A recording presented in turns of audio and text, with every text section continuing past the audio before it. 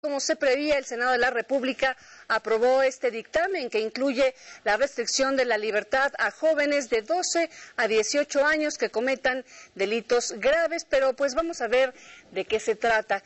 Esta legislación aprobada que fue enviada ya a la Cámara de Diputados incluye la medida de internamiento en tiempo libre. Esto se trata de una restricción de la libertad del menor, quien permanecerá en un centro federal de internamiento el tiempo que se le imponga, que no podrá ser inferior a un mes ni exceder cuatro años. También contempla el internamiento permanente, que no podrá ser inferior a un año ni superior a cinco. Este implica la privación de la libertad que se deberá cumplir exclusivamente en los centros federales de internamiento. Además, se prevé el arresto domiciliario para que los adolescentes no interrumpan sus estudios ni su trabajo. En este caso serían vigilados por un adulto o un tutor. El senador panista Sergio Álvarez opina que se debe incorporar el nuevo sistema acusatorio ante casos como el de Eder Jiménez Lugo, alias El Ponchis, también conocido como el niño sicario. Y bueno, para hablar sobre este tema y entender eh, mejor cuáles son las modificaciones, tenemos en la línea al senador Felipe González, a quien le agradezco tome esta llamada. Senador, muy buenas noches. ¿Cómo le va? Muy buenas noches. Un placer saludarle a usted y a todo su auditorio. Marta. Muchas gracias, senador. Pues para entender y explicarle al auditorio en qué consiste esta aprobación que se dio hoy ya en el Senado de la República, qué pasaba antes en el país o qué pasa actualmente y qué pasará cuando entre en vigor. Bueno, pues este, con mucha pena les debería de comenzar diciendo que esta es una ley que nosotros debimos de haber sacado el Congreso de la Unión desde el 2004, estamos remisos. Porque este, recuerden que se hizo una, este, un cambio, se, se legisló en una modificación al artículo 18 de la Constitución, en el cual se, se hablaba de que debía de haber una ley especial para los jóvenes, o sea, para que fueran justiciables, pero de una manera especial, no como los adultos. Claro.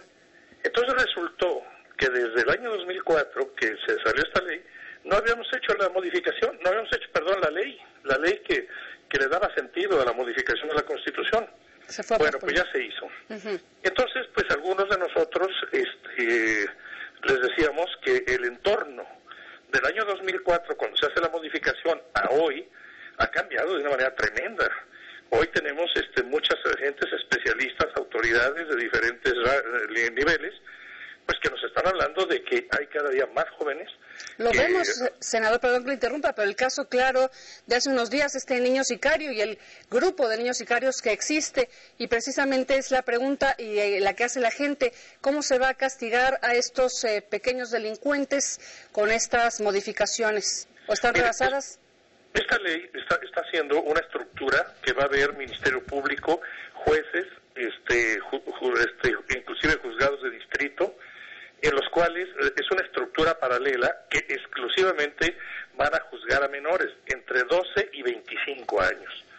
Eh, de los 14 a los 18 ya pueden ser imputables en casos de delitos graves. Precisamente una de mis inconformidades es que en el artículo 5, el tercer párrafo, habla de que no podrán ser procesados por delitos de crimen organizado. Pero luego el 113 habla de que podrán ser juzgados en casos de extorsión, homicidio, robo de combustible, asalto en carretera, etcétera. Digo, oigan, es que la verdad de las cosas, como dicen aquí, que no, y luego ya en el 113 se habla ¿Que de que pueden ser justiciables eh, con respecto a, a, estos delitos.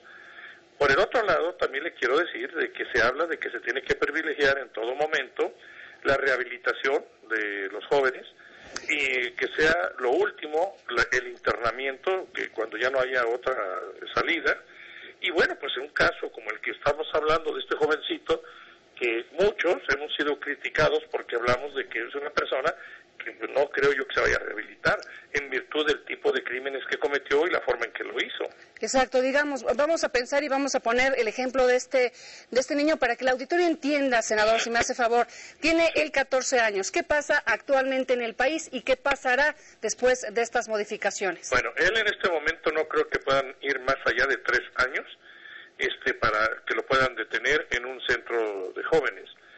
Eh, en, la nueva ley se habla de que deberá ser justiciado, eh, perdón, de ser consignado un joven de, de, acuerdo al día en que cometió los delitos.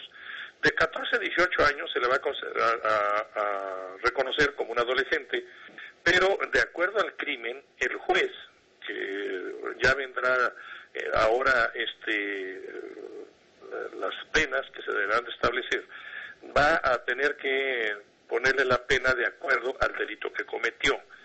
Eh, de 18 a 25 años, este ya es un, va a ser un joven adulto que le llaman aquí en la ley, y bueno, sus penas se van a incrementar. Pero, por ejemplo, en el caso de este joven, si ya estuviera la ley, están todavía apenas va a la Cámara de Diputados. ¿eh? Claro, claro, claro. Esto no, Vamos a, supuestos, digamos. Y después de que sea aprobada y publicada, el, eh, el transitorio dice que entrará en vigor dos años. Entonces, esta ley, eh, si fuera, si esta persona hubiera sido detenida ya con esta ley en vigor, yo creo que es el, él, su sentencia sería de acuerdo a las, ah, al juicio que se le siguiera en el que tendrá que eh, también participar los padres o tutores de los jóvenes o de los niños, en caso de que sean de 12, 14 años o adolescentes, y eh, después de eso se le daría la pena de acuerdo a su, a su perfil psicológico, de acuerdo a lo que vendría representando de peligro para la sociedad si es que no se rehabilitó o es una persona que, fuera un psicópata que al salir volverá a matar. Sí, senador, una situación. Actualmente un eh, joven que es menor de 18 años, eh, cuando comete algún delito, de acuerdo obviamente al mismo, se le imputa una sanción, pero este a cumplir 18 años automáticamente sale de la reclusión. Con estas modificaciones, ¿eso va a suceder igualmente? ¿La, ¿La persona saldrá a los 18? No, porque si el juez habla de una sentencia mayor, lo único que pasaría es que lo cambiarían de lugar de detención. Porque la ley habla de que tendrá que haber áreas especializadas para detención de 12 a 14, de 14 a 18, de 18 a 25, pero también con la salvedad del tipo de delito, porque a lo mejor va a haber delitos eh, leves que cometan algunos jóvenes y no los van a poder poner, eh, estar junto a un individuo como del que estamos hablando, que lo único que haríamos sería que entraran ahí para que eh, hicieran una universidad del crimen en ese lugar, como ya pasa con tantos centros de, rehabilitación en, el país, por supuesto. cárceles que son universidades del crimen. Por supuesto. bueno, tiene sus bondades, pero le repito, espero que ya sobre el camino podamos nosotros ir los legisladores viendo que sí se esté aplicando. Así es, y como dice usted, primero irá a la Cámara de Diputados a ver qué es lo que sucede por allá. Senador, gracias por su tiempo y muy buena noche. Al contrario, usted a sus órdenes. Un placer saludarle. Igualmente.